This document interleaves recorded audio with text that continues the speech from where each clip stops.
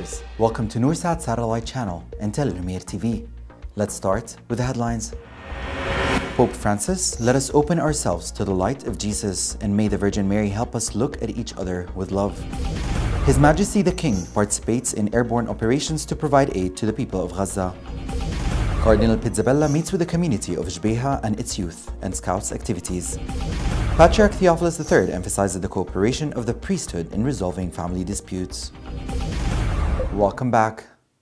Pope Francis led the Angelus prayer with the gathered believers in St. Peter's Square in the Vatican. Before the prayer, His Holiness delivered a speech stating that the Gospel for the second Sunday of Lent recounts the transfigurations of Jesus after he had announced his suffering to the disciples. He urged them not to turn their eyes away from this light, especially in moments close to pain. Pope Francis continued saying, We as Christians are called to walk in the journey of life, keeping our gaze constantly on the bright face of Christ. He emphasized the need to seek Christ's face filled with mercy, trust, and hope. The Pope highlighted that continuous prayer, listening to the Word, and contemplating the mysteries will assist us in doing so. The Holy Father concluded his word by expressing the hope that the Virgin Mary, illuminated by God's light, would help us keep our gaze fixed on Jesus and look at each other with confidence and love.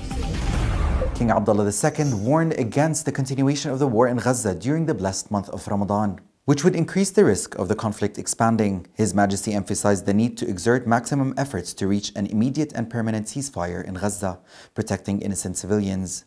He highlighted that Jordan will continue providing humanitarian relief and medical aids to its brothers and sisters in the sector. King Abdullah II cautioned against Israeli escalation in the West Bank, condemning the actions of extreme settlers against Palestinians and the violations of Islamic and Christian sanctities in Jerusalem. The king reiterated Jordan's rejection of any attempts to separate the West Bank and Gaza, considering them as an extension of one Palestinian state. On another note, His Majesty King Abdullah II participated in airborne operations carried out by aircraft belonging to the Royal Jordanian Air Force to provide humanitarian and relief aid to the people in Gaza. A statement from the Jordanian Armed Forces confirmed that His Majesty's participation reaffirms Jordan's commitment to stand by the Palestinian brothers and deliver assistance through all available means to the residents of the Gaza Strip. King Abdullah II directly monitored the preparation and loading stages of the aircraft before their takeoff from the King Abdullah II Air Base.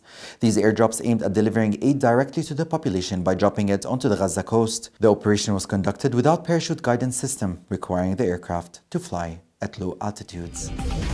His Beatitude Cardinal Pier Battista Pizzaballa, the Latin Patriarch of Jerusalem, concluded a pastoral visit to the Church of St. Paul the Apostle in Jbeha that lasted three days. Upon his arrival to the church, he was welcomed by Father Samrim Danat, the parish priest, and its youth and scouts activities, as well as the Mariamat Fraternity for Mothers.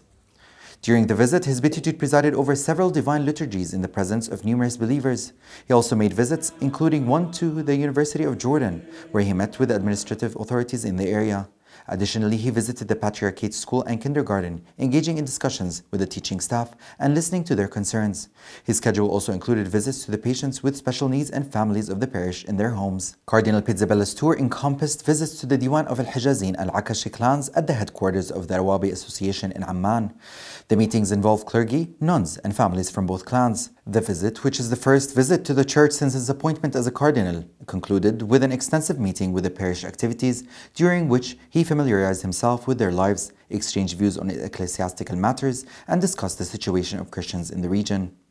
Cardinal Pizzaballa affirmed his continuous support for the church in Gaza and expressed his ongoing concern for the well-being of the faithful amidst the ongoing conflict in that region.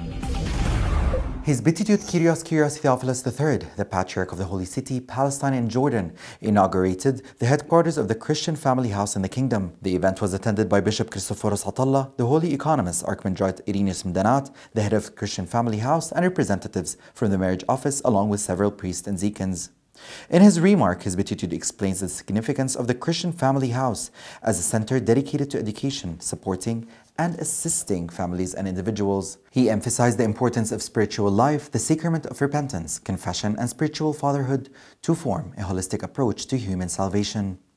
His beatitude also stressed the collaboration between spiritual fathers and the Christian family house, as well as the assistance provided by specialized experts to the scattered faithful across the kingdom.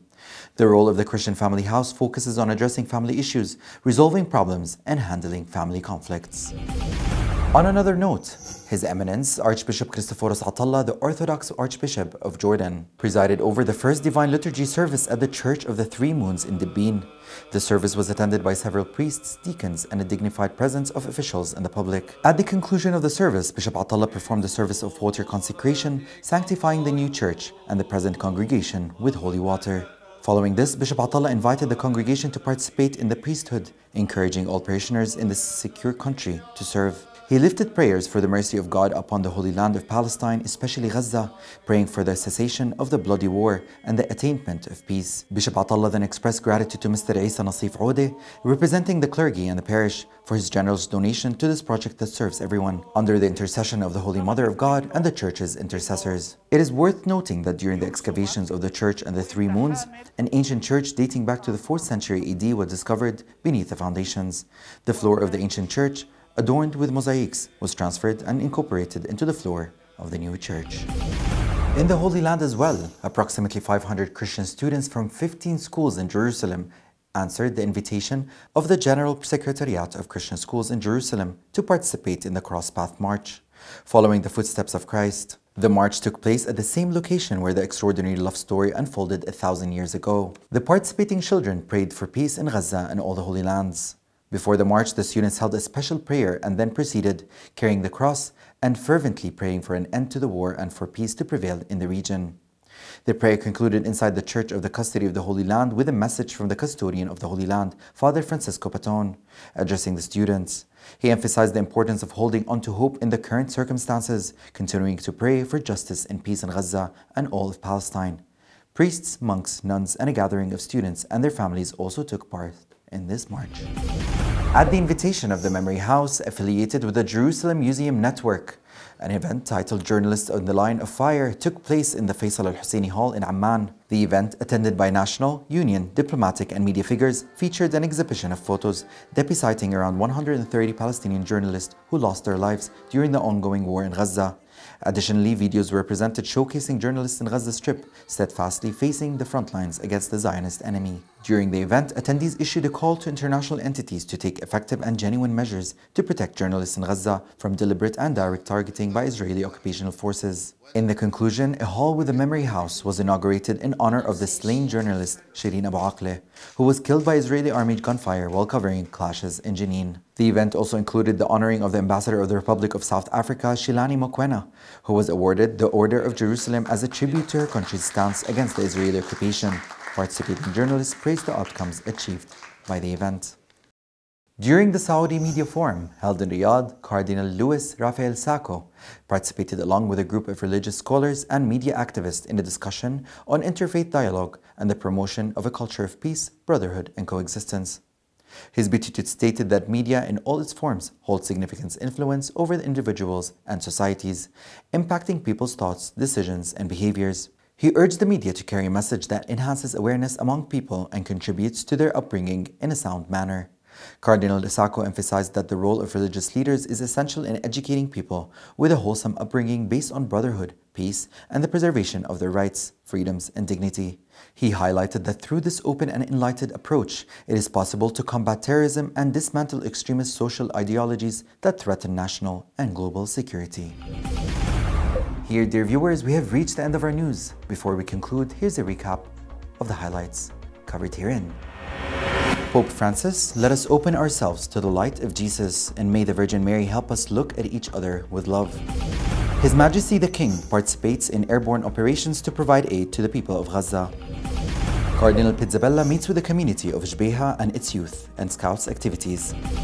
Patriarch Theophilus III emphasizes the cooperation of the priesthood in resolving family disputes.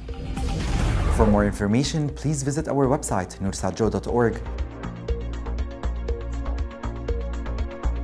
Thank you for watching. Hope to see you again. Have a good day.